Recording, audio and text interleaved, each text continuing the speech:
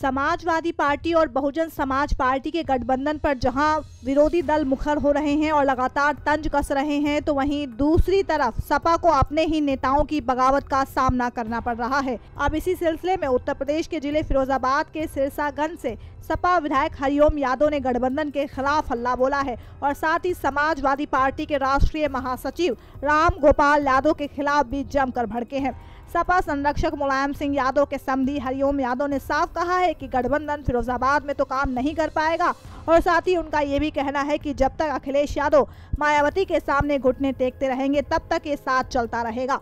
इसके अलावा उन्होंने राम गोपाल यादव पर खुद के खिलाफ साजिश करने का आरोप लगाया। साथ ही ये भी कहा कि उनके बेटे अक्षय यादव ने सांसद रहते हुए भी कोई काम नहीं किया है। इसके अलावा सपा के खिलाफ आगामी 22 जनवरी को शिकोहाबाद में वो एक कार्यक्रम भी आयोजित कराने जा रहे हैं, जिसका नाम है पोल खोलो। खैर, अब देखना होगा कि हरिओम यादव के बगावती तेवर का क्या हल निकालते हैं Akhilesh Yadav.